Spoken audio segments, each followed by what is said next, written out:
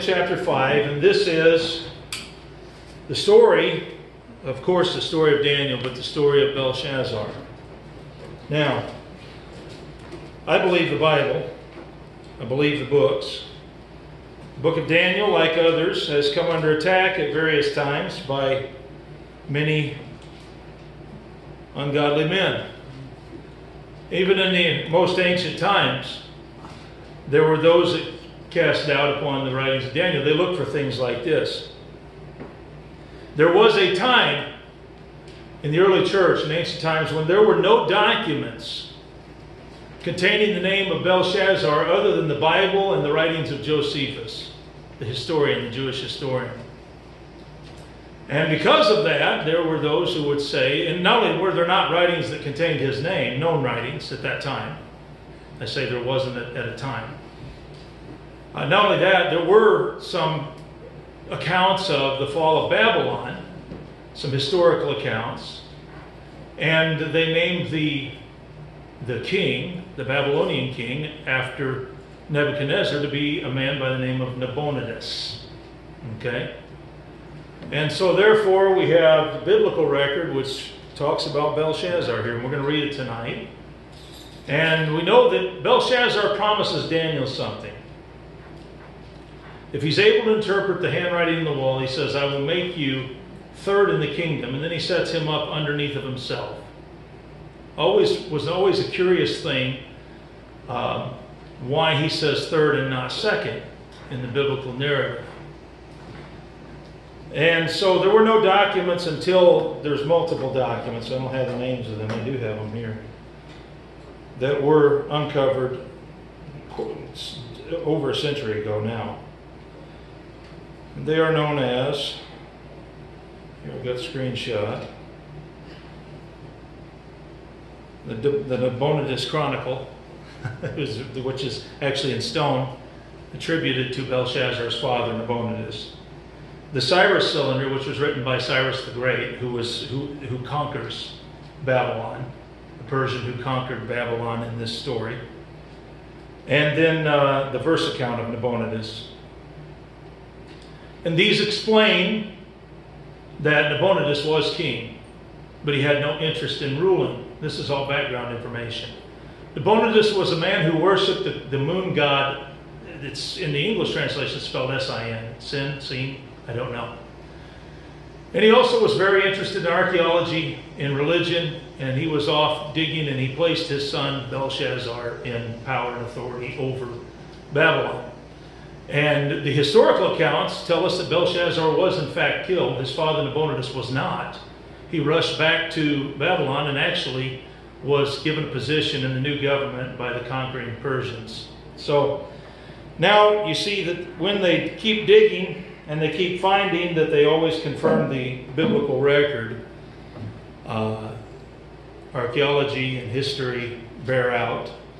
The, uh, and we don't need that. We live by faith. We don't need that, but we see that that happens. So, let's begin tonight. I want to read just uh, beginning with the first four verses, an introduction.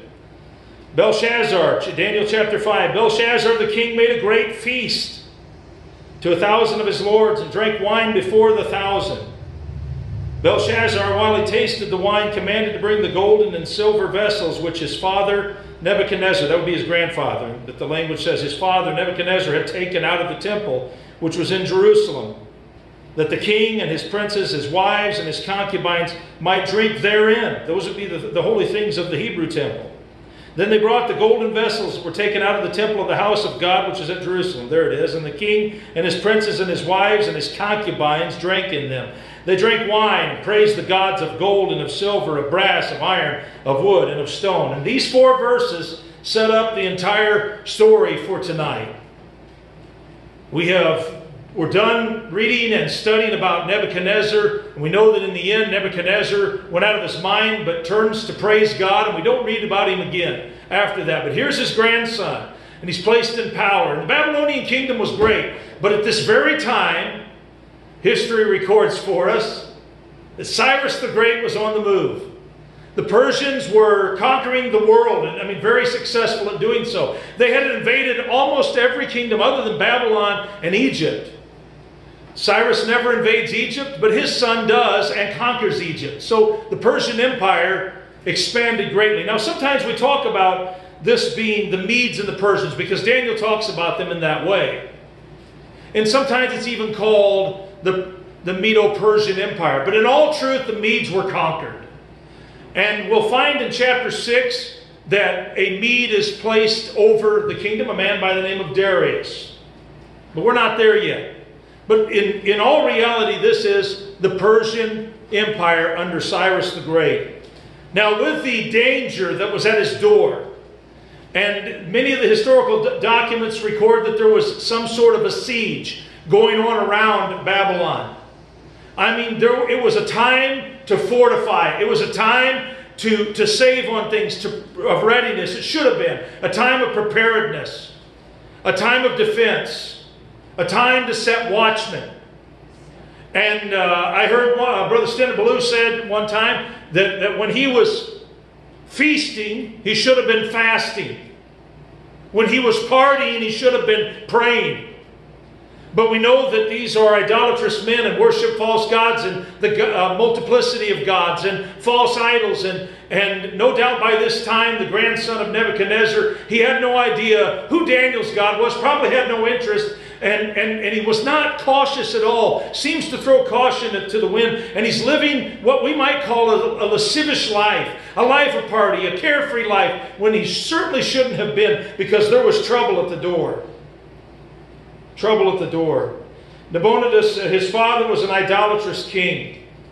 After ruling only three years, he left for the oasis of Tema and devoted himself to the worship of the moon god Sin. He made Belshazzar his son co-regent in 553 BC. In the year 540 BC, so 13 years later, Nabonidus returned from uh, Tema, hoping to defend his kingdom from the Persians who were planning to advance on Babylon. So they knew that the, that the Persians were coming. They knew that this was a mighty army. They knew that they had been successful in so many places. In 539 BC, Belshazzar was positioned in the city of Babylon to hold the capital. That's why he was there. That was his duty. That was his job. But he makes a great feast for thousands of his lords, drinking wine before the thousand. Dr. B.R. Lincoln described King Belshazzar as a pleasure seeker. And we often talk about how history does repeat itself. And I say the book of Daniel is timely. Not only timely because, yes, we'll get to talk about eventually the 70th week of Daniel and, you know, the end times. We're talking about history here now. To them, uh, what Daniel was foretelling was prophetic. Some of it going to happen that very night, we'll read. But history repeats itself. And so we see this sort of pleasure seeking in the last days. And Paul said that that would, that would denote and mark these days of apostasy. That men would be lovers of pleasures more than lovers of God, lovers of their own selves, seeking gratification and fulfillment basically above all else, even when there is great danger uh, at their door in the world today. Pleasure seeker. He held a great feast to entertain the elite members of his society, the lords. They drank wine in their presence. And I understand, you know, in the Bible, sometimes it's hard to determine what they're talking about wine, right? Sometimes it's just simply the word vino. It means vine. It just means grape juice, right? Or the fruit of the vine. But so, so we have to determine what are they drinking. I have no doubt that, that they're drinking whatever they can get, amen. This is probably an alcoholic beverage. They're being in excess. They're drinking it out of bowls, out of vessels. They're getting large vessels, and they go down and they take the vessels that they had, they had plundered from the house of God at Jerusalem to defile them. And, and they're having a party. They're having a party. The full extent of Babylonian wickedness is revealed in verse 3 of this chapter. Belshazzar had multiple wives as well as concubines for these parties. They praised their gods of gold, silver, brass, iron, wood, and stone. It was idolatrous. Many in America, many around the world today live after the same fashion. Get all you can, can all you get, my dad used to say is the attitude. And it's not just young people. As I say of young people today, it's not just always young people. Unashamed of the, of the, of the sin that we commit. Strong drink is flowing in America. Sexual perversion is accepted and embraced by many. And we see this story that should serve as a reminder that, that such a party, that such carelessness, that such wickedness can come to a, to a sudden stop, a sudden halt. You know, men mock at the idea of the judgment of God. And we would like, you know, we would like to think that it comes with some sort of a warning. But we have no idea of God's timeline. Not only do we not know when the great and terrible day of the Lord is, we don't know the return of the Lord. No man knows but the Father. We don't know anything on God's timeline. Even the, even the judgment of a nation like this, of a king like this, or an individual, or of you and I because of our wickedness. God is gracious. God is long suffering. We know that. But the judgment that comes here, I mean, they're prosperous. And they have gold, and the, the, the, they had conquered themselves. They had conquered many people, and we see the, the Hebrew captives, and they had all of this gold, and all of this silver, and all of the wine. Belshazzar had partied before, and he was planning. A, a, this seems to be a rather large one. This seems to be so excessive. God was not sleeping or slumbering while the Babylonians lived and carried on in idolatrous wickedness. Often men's plans are changed or halted by God in a sudden and devastating fashion. You remember how Nebuchadnezzar had learned that so painfully back in chapter 4. When Nebuchadnezzar, after it was all over, what did he say? He said, He doeth according to his will in the army of heaven and among the inhabitants of the earth, and none can stay his hand. Nebuchadnezzar learned that no one can affect the hand of God, no one can cause or prevent the hand of God. Let's read this. The hand. You ever heard that old saying? Boy, I can see the handwriting on the wall. If you're a Cubs fan or a Bears fan, you've heard that saying. I can see the handwriting on the wall. This is where it comes from. Sometimes we have old adages and we don't know where they come from. That one comes from this story. What does it mean? We see the handwriting on the wall. What a terrible, what a, what a night of terror this was. Verse 5 In the same hour came forth fingers of a man's hand and wrote over against the candlestick upon the plaster of the wall of the king's palace. And the king saw the part of the hand that wrote. Then the king's countenance was changed, and his thoughts troubled him, so that the joints of his loins were loosed and his knees smote one against another. The king cried aloud to bring in the astrologers, the Chaldeans, and the soothsayers.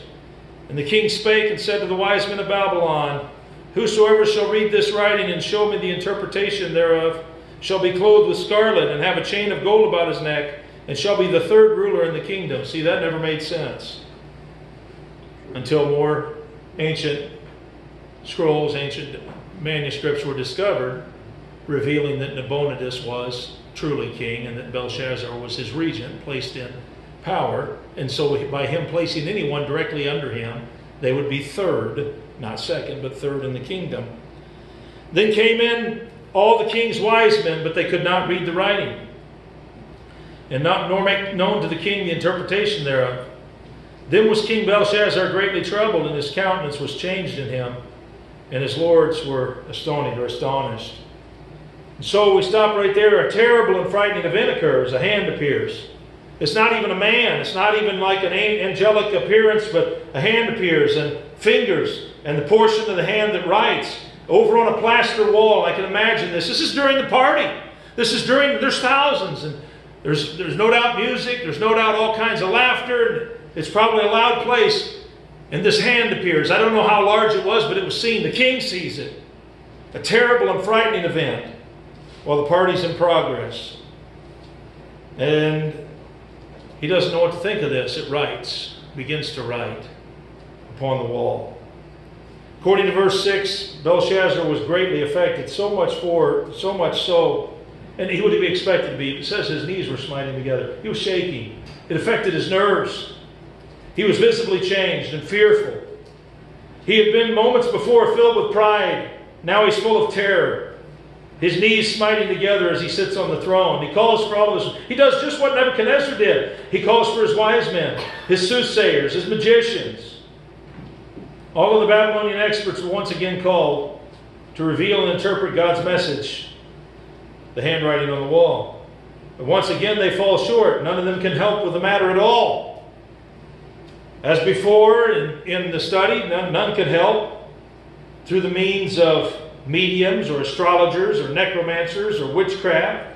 the message of God remains hidden. By the way, we have the Word of God before us tonight, and without the Spirit of God within us, it, it cannot be interpreted either. That's why there's so much false doctrine. That's why there's so much heresy in the world. when, God, when God speaks, when God writes, when God declares and God decrees, men are without understanding. At their failure, the king is even more troubled than before. His countenance was changed. Strong says this word means his, his brightness and his cheerfulness. He was a pretty happy fellow right before this. He was laughing, gaiety before the Lord showed up. But all the temporal joys were gone, and his lords were in complete astonishment as well. And so Daniel is called. Verse 10.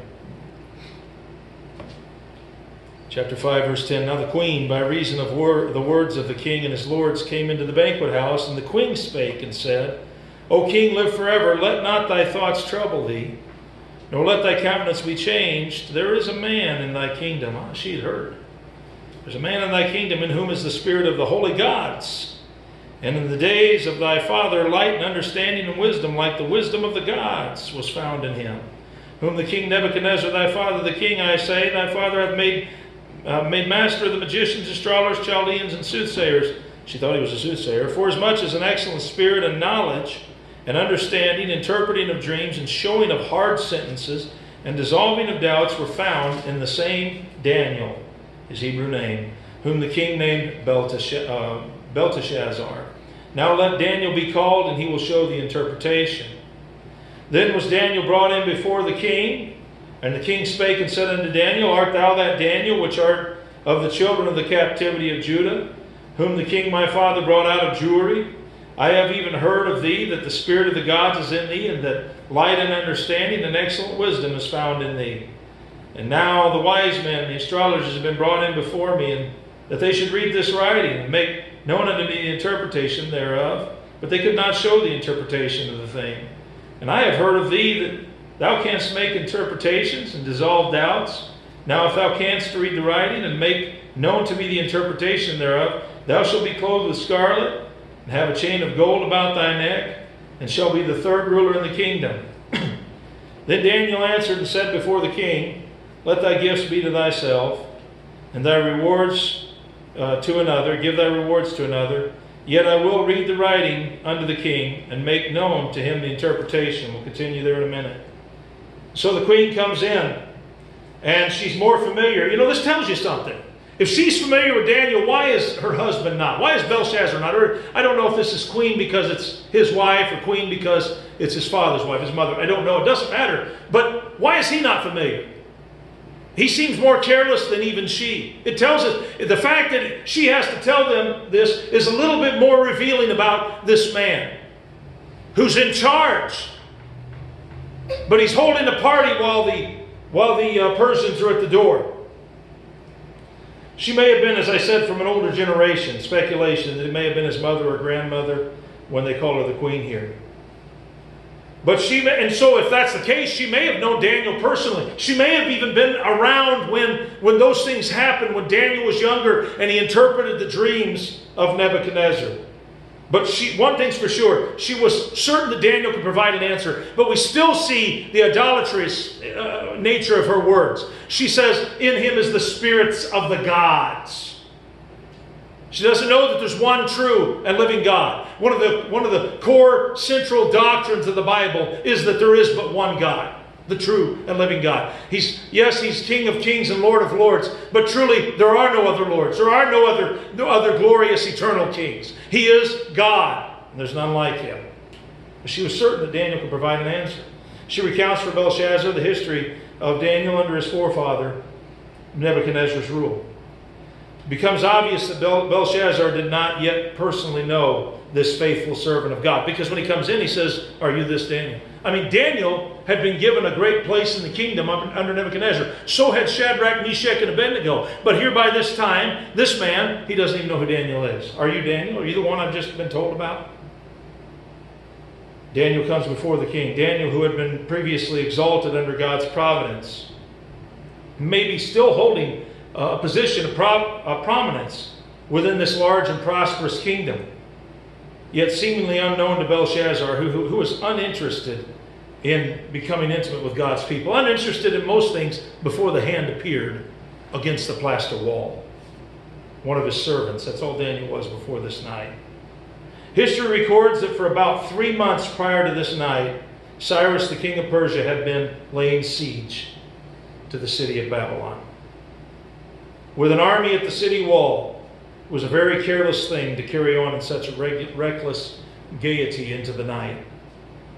Perhaps his confidence was in the walls, the massive walls that surrounded the city. These walls, according to the Greek historian Herodotus in the 5th century BC, they were no less than 87 feet thick and 350 feet high. Those are, that's some serious walls. There were also 250 watchtowers which extended another 100 feet into the air. This was now by now a familiar event to Daniel, being called before the king. He's no longer a young man. I don't know his age, but he had stood before the king before and he was going to he would do it again.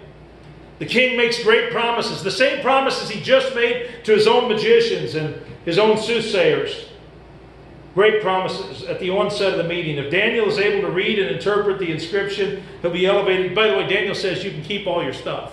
I don't need you. Daniel's not going to be bribed. He doesn't want the stuff. The depth of Babylonian idolatry is revealed over and over in the words of the rulers when speaking to Daniel, recognizing the multiplicity of gods. And here again, when he calls him before, he says, I've heard that the spirit of the gods is in thee spirits of the gods.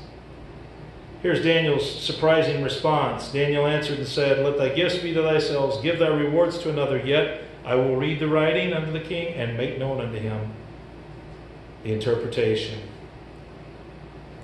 Does not desire the things the king might offer. Let's continue. Verse 18. Daniel, Daniel recounts for him Nebuchadnezzar's story, by the way, here in detail.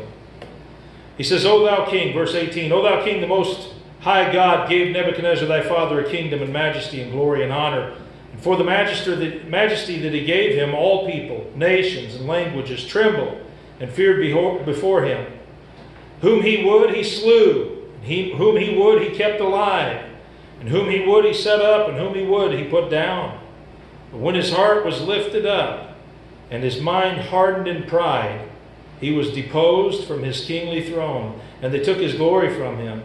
And he was driven from the sons of men, and his heart was made like the beasts, and his dwelling was with the wild asses, and they fed him grass like oxen, and his body was wet with the dew of heaven, till he knew that the Most High God ruleth in the kingdom of men, and that he appointeth over it whomsoever he will. So he recounts the things that we preached about, we studied last Sunday night.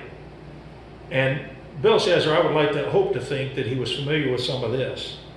Continuing though, he says, O thou his son, O Belshazzar, hast not humbled thine heart. Uh, there's a reason he told him about the pride of Nebuchadnezzar. He's saying, you, You're the same way. Thou hast not humbled thine heart. Though thou knewest all this, but hast lifted up thyself against the Lord of heaven, and they have brought the vessels of his house before thee, and thou, and thy lords, and thy wives, and thy concubines have drunk wine in them.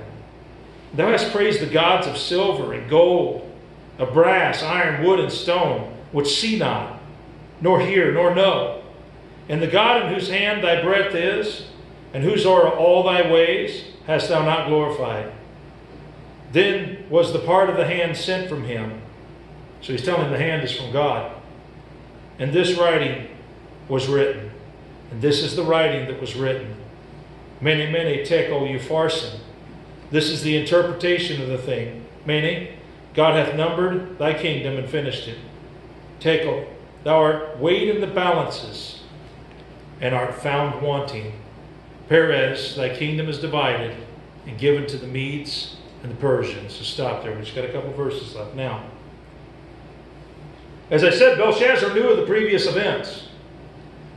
Life would be much easier if we all learned from the mistakes that our fathers made, or even that these biblical accounts that we read of, we see what happens when men are lifted up in pride. We see the warning. We see the warnings of judgment upon those who live to the flesh. Whatsoever man soweth, that shall he also reap. For he that soweth to the flesh shall of the flesh reach, reap corruption. But he that soweth to the Spirit shall of the Spirit reap life everlasting. We know this. Yet it does not seem to affect and change us many times. Belshazzar knew of the previous events. He says, You know these things. It seems we must learn things the hard way if we ever learn them at all from God. Many of the Babylonians were no doubt filled with fear when God showed his hand to them through Nebuchadnezzar. But as always is the case among men, we, we too, we have experienced things in life. We have experienced things that sometimes serve as a bit of a wake up call, a bit of an eye opening, perhaps used by God to affect us. I believe He's providential. I believe He's working in my life. Sometimes we forget, we're so forgetful. Perhaps under the time of Nebuchadnezzar, there were many that questioned their life, their idolatry. I don't know. But time had passed. We see the condition of the kingdom on this night. Daniel recounts to the king the excessiveness of his life, accusing him in detail of the wicked deeds of, that were going on that very night, of following in the footsteps of his grandfather. Daniel is not hesitant to proclaim the full extent of the king's evils here in verses 18. Uh, no, Deuteronomy, I'm sorry, I have a cross reference, Deuteronomy 18 18. Uh, Moses wrote, I will raise them up a prophet from among their brethren like unto thee, and will put my words in his mouth, and he shall speak unto them all that I shall command him. And it shall come to pass that whosoever will not hearken unto my words, which he shall speak, speak in my name, I will require it of him. There is, as Dr. R.G. Lee preached, there's a payday someday. Recompense is mine, saith the Lord. Men don't believe that. And someone might step outside and say, Well, I'm prove there's not a God. If there's a God, strike me down with lightning. See, there's no God. Every man.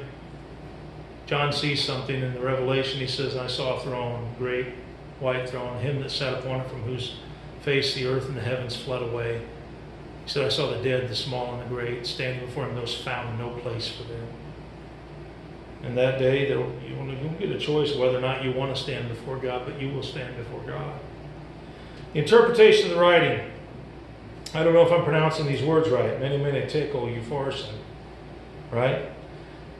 These were actually known, well, they weren't known to these men, obviously. Daniel was multilingual. These were known Aramaic words. But they were not a full and complete sentence. So it may not have been that he did not recognize the words, but he just certainly didn't know why this was written. Many, many times. One, one word is repeated. The literal writing is this, okay? I have the translation. I mean, we know what Daniel said, interpretation. Just literally, if it was in English, it would be something like this numbered, numbered, weighed, divisions. And that didn't make sense to the king.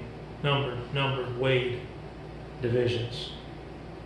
Daniel gives the uh, interpretation. He tells him, Your king, your kingdom God hath numbered your kingdom.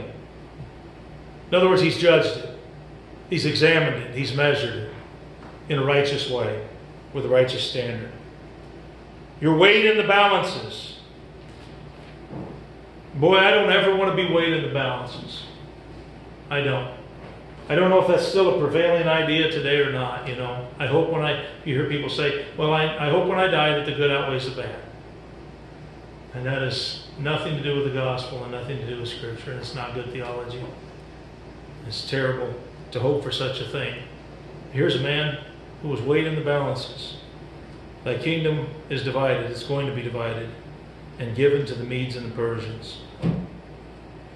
Now, it's kind of a dangerous thing to give an interpretation like this, you would think.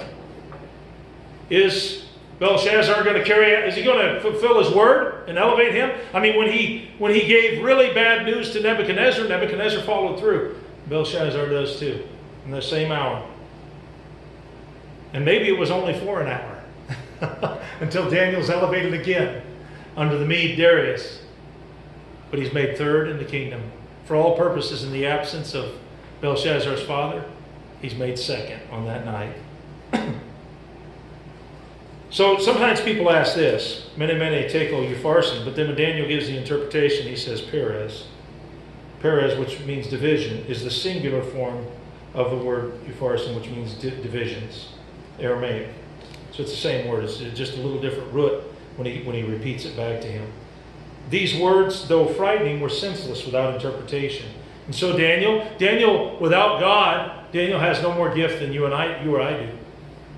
But Daniel exercising his gift as God's prophet, as an interpretator of visions and dreams, fills in the blanks between the words on the wall, and tells him God has numbered your kingdom and finished it.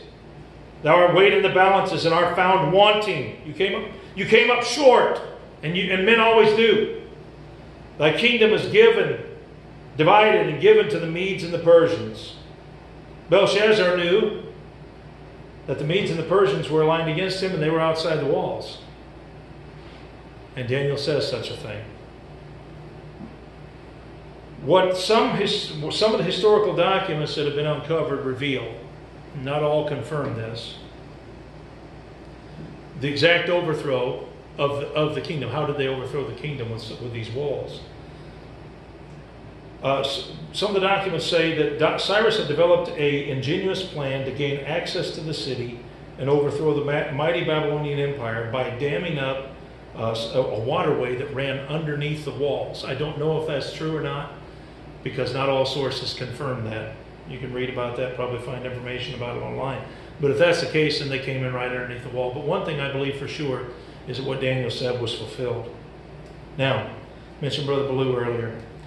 In his own layman's interpretation of what the handwriting on the wall, what it said in uh, layman's terms is this the party's over. Remember that? Yeah. He preached a message on it, I think, entitled that. He said that the handwriting came in on the wall and what it wrote was, the party's over. I'm not trying to make light of Scripture, and we know Daniel's actual interpretation. But in effect, that is what it said. That is the message. And I worry for our generation. I worry for our generation that has no care, no thought for the morrow, no thought certainly for eternity, no worry about their own souls, seeking to gain the world at the expense of their soul. I don't expect a hand to appear on the wall. I expect Christ to return in judgment. On a horse with a sword in his mouth with the brightness of his coming. And I don't know when. I don't. But I do know that we don't necessarily deserve any warning. We talk about signs of the times and all those things. But He's coming as a thief in the night. That day should not take us unaware, that's for sure. The return of the Lord. But the party was over. He that being often reproved hardeneth his neck, Proverbs 29 1, shall suddenly be destroyed, and that without remedy. Psalm 9:17 The wicked shall be turned into hell and all the nations that forget God. God is a righteous judge over the nations. He weighed the wicked. By the way, God we have Matthew 24 and 25, I've always been fascinated with what we see as the sheep and the goats, but the judgment of the nations. I don't understand all of that, but I know He judges nations even in our time and throughout history. He weighed the wicked Babylonian kingdom in the balances of righteousness, and she was very wanting. In His own time, he had, they had prospered. He had given them much grace, even in times of wickedness. God, who had shown great mercy towards generations of rebellious leaders, would now divide their kingdom and give it to the Medes and the Persians. Matthew Henry wrote of this Sinners are pleased with gods that neither see nor hear nor know, but they will judge, be judged by one to whom all things are open and known. And so the thing comes to pass. Verse 29, the end of the chapter. Then commanded Belshazzar, and they clothed Daniel with scarlet. Daniel was probably not impressed by it at all. Put a scarlet robe on him. Put a chain of gold about his neck. Big old gold chain. The things that impress men. Made a proclamation concerning him that he should be the third ruler in the kingdom. That would make him right under Belshazzar. And in that night was Belshazzar, the king of the Chaldeans, slain. And Darius the Median took the kingdom, being about three score and two years old. He was 62. Darius the Median. Belshazzar was true to his word. His promise was kept towards Daniel. even if for an hour. Daniel was the third ruler in the kingdom. Doesn't seem like he really cared. He wasn't concerned. His only concern was serving God. Cyrus the Great, the founder of the Persian Empire, conquered the Medes and unified the two Iranian kingdoms. By the way, that's where this is geographically, ancient Babylon. And by today, his tomb, Cyrus the Great, is worshipped and adored by the Iranian people. But as ruthless as he was, he wasn't like the, many of the militant Muslim factions of our day. He was, he, was, he was smart. One of the things he did when he conquered a people is he continued to let them practice their religion. That's not something that goes on today. That's not something that the Taliban or ISIS would allow today if they conquered people, to allow them to practice their religion. He ruled from 559 BC until the time of his death, and the empire expanded greatly under his rule. Belshazzar was slain that very night in the attack. God's judgment in this case, while though delayed, not, not really because it's on his time, but seemingly from man's perspective, delayed long through mercy, was now swift in its execution at the appointed time that God had appointed himself. As I said earlier, the historical account, his father was not slain, he was absent, and he returns, but the battle is over. Actually, given a, position within the new occupying government, which was also Cyrus's practice. This Darius, the Mede, he actually comes from a conquered people because the Persians had conquered the Medes. But the new ruler of the Babylonian kingdom was to be a Mede by the name of Darius, who's 62 year old when he comes to reign. Darius the Mede was the son of Ahasuerus. He is only referred to, by the way, Darius is only referred to in the biblical narrative and that of Flavius Josephus, the Jewish historian, which at one time was the case of Belshazzar in Daniel chapter 5, but is no longer the case. This, whether it is or not, I don't know. Whether it ever will be or not, I don't know, and I really don't care. But may someday be confirmed as well by other historical documents that are discovered. That is the end of Daniel chapter 5. The handwriting on the wall, the party is over. The judgment of God is certain. Let's stand together tonight for prayer.